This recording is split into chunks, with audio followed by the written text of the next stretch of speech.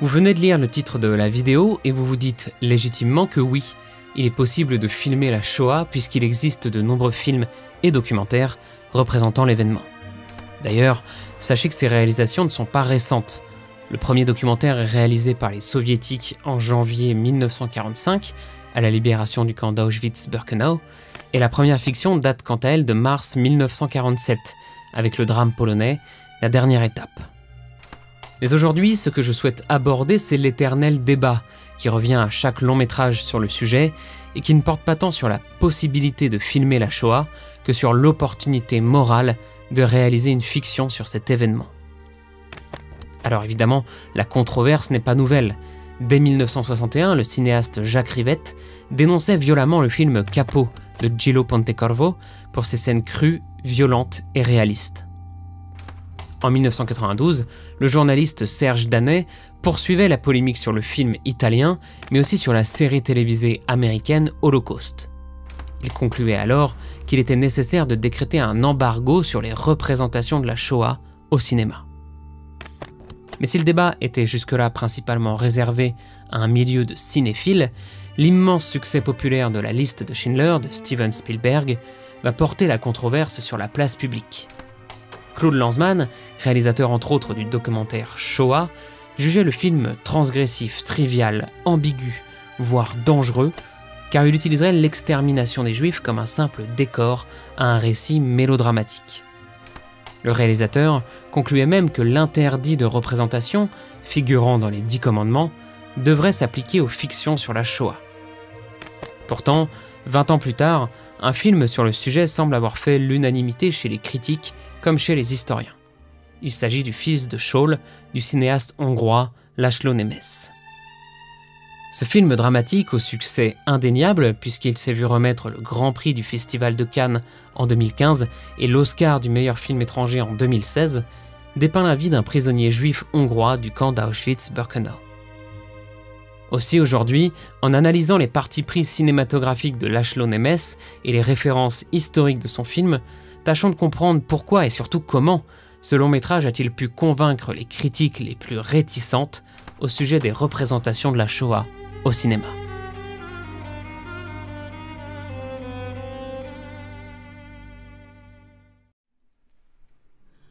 Le film se déroule en octobre 1944 et dépeint deux journées de la vie de Shaul Auslander, prisonnier juif hongrois du camp d'extermination d'Auschwitz. Un prisonnier oui, mais pas n'importe lequel. Scholl est membre de l'un des Sonderkommando de son camp, autrement nommé les Arbeitsjuden, c'est-à-dire ces déportés, juifs dans leur très grande majorité, enrôlés de force par les nazis pour effectuer certaines tâches de la solution finale. Ils étaient notamment chargés d'emmener les futures victimes dans les chambres à gaz, d'en sortir ensuite les corps, d'en saisir les bijoux, les dents en or, avant de transporter les dépouilles jusqu'au four crématoire. Le film montre parfaitement que ces hommes, étant donné qu'ils étaient acteurs des crimes nazis, vivaient dans un lieu spécifique, strictement séparé des autres prisonniers, afin de ne pas ébruiter la réalité meurtrière des camps. Par ailleurs, suivant la même logique d'élimination des preuves et des témoins, les membres des Sonderkommando étaient régulièrement exécutés et les effectifs renouvelés par de nouveaux prisonniers. On se trouve d'ores et déjà face à un choix scénaristique peu commun. Hormis un film allemand de Karl Frutschmann en 1986 et The Grey Zone réalisé par Tim Blake Nelson en 2001, les intrigues se focalisant sur les Sonderkommando sont quasi inexistantes. S'il n'existe pas de raison officielle à cette quasi-absence, on peut imaginer que la proximité évidente de ces hommes avec l'horreur de l'extermination ait rebuté plus d'un cinéaste. Le fils de Scholl, par son sujet même, est ainsi à contre-courant des productions sur la Shoah, et je pense que cela a en partie contribué à son appréciation par les critiques cinématographiques. Pour en revenir à l'intrigue, l'histoire de Scholl va basculer lorsqu'un jour, alors qu'il s'apprête à vider une chambre à gaz de ses corps, il semble reconnaître son fils dans les traits d'un enfant mort. Sauver cet enfant de la crémation et l'enterrer selon le rite juif approprié deviennent alors ses seules obsessions ce qui l'amène à rechercher un rabbin dans le camp et même à se détourner de ses camarades qui se préparent à la révolte.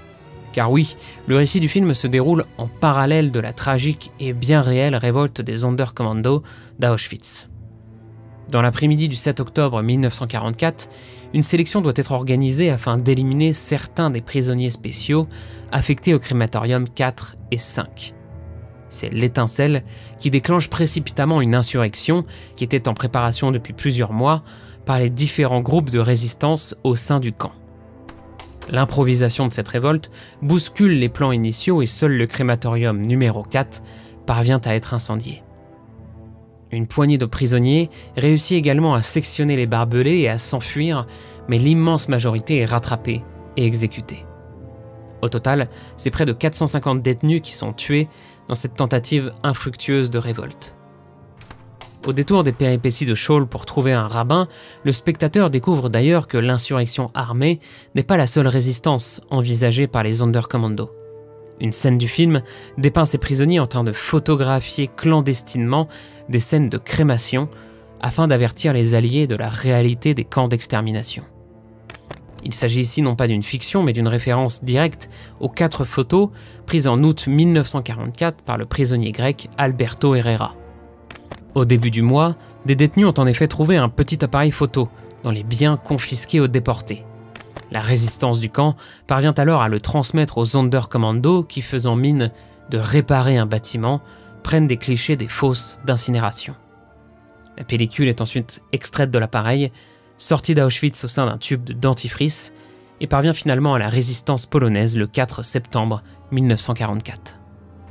La mise en scène d'événements historiques, comme ces séquences de révolte et de prise de photos, pourrait laisser croire à un film extrêmement réaliste, et donc en opposition avec le souhait des critiques cinéma évoqué en introduction. Et pourtant, le fils de Shaw emprunte intelligemment une autre voie, un parti pris cinématographique intéressant, qui est celui d'utiliser un objectif à longue focale. La mise au point est donc faite sur Shaw, qui est omniprésent au premier plan, tandis que l'arrière, le monde autour de lui, est totalement flou. Cette astuce de réalisation permet au film de flouter l'horreur des chambres à gaz et ainsi d'échapper à l'écueil du voyeurisme. Mais évidemment, ce flou n'est pas seulement esthétique, et c'est là la grande force du long métrage hongrois. Le flou est une porte d'entrée, une invitation pour le spectateur à s'interroger sur ces images, à leur donner un sens, mais aussi à amplifier le parcours du personnage principal. En effet, Shawl évolue dans un monde dénué de sens, et c'est par les morts, par la découverte du corps de cet enfant, et par le rite qu'il cherche à reconstruire, que le prisonnier va trouver du sens à son existence. C'est sous cette facette anthropologique que l'on peut comprendre le véritable récit du film, celui d'un combat mené pour réhabiliter l'humanité, pour défendre l'identité humaine qui se construit entre autres par le soin dévolu aux morts. Je terminerai par ces mots de l'historien Johan Chapoutot. On a retenu l'insurrection armée du Sonderkommando, le bruit et la fureur de la révolte, mais la véritable insurrection est ici celle de Scholl, celle qui permet de recréer un temps et un lieu d'humanité dans cet univers inhumain. En conclusion, on peut donc affirmer que le fils de Scholl sort par le haut du débat récurrent sur le caractère représentable ou non de la Shoah, et ce quel que soit le domaine d'analyse. D'un point de vue historique, on peut par exemple saluer le soin apporté à la reconstitution des décors, tandis que d'un point de vue cinématographique et éthique, l'usage de la longue focale notamment est particulièrement pertinent. Si le fils de Shawl rend presque caduque cette controverse sur la représentation de la Shoah au cinéma, que peut-on justement conclure de cette polémique? Bien, je rejoindrai ici le point de vue de l'éminent historien Raoul Hilberg, pour qui les enjeux de ce débat ne portent pas tant sur la Shoah que sur la mémoire en tant que telle. L'historien dénonce ainsi le fait que les critiques cinéma que j'ai évoquées en introduction ne se concentrent pas tant sur le savoir historique que les œuvres comportent, mais sur leur projet commémoratif. En bref, selon Raoul Hilberg, les critiques cinéma jugent les fictions décentes si elles servent leur propre vision de la Shoah, et indécentes si elles profitent de cette mémoire ou si elles en divergent. C'est évidemment dommageable, puisque la mémoire est subjective, c'est une construction, une vision du passé au filtre du présent, il n'appartient à personne d'imposer aux autres sa version de l'histoire. Mais même dans ce registre, avec son intrigue sur les Sonderkommando qui restent en partie les oubliés du génocide juif, le fils de Scholl ne fait pas de profit sur la mémoire. À mon sens, le film hongrois est une grande justesse, puisqu'il ne vient pas bousculer la mémoire collective de l'événement, il n'exploite pas une polémique, mais il reste, encore une fois, un film humble et pertinent pour représenter la Shoah au cinéma. Merci à toutes et à tous d'avoir regardé cette émission, eh bien, j'espère qu'elle vous a plu.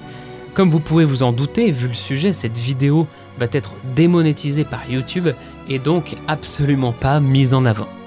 Donc si vous souhaitez me soutenir et éviter que cette vidéo ne fasse un flop, je vous invite fortement à la partager autour de vous sur tous vos réseaux sociaux. On se retrouve le mois prochain pour une nouvelle émission. D'ici là, portez-vous bien. Ciao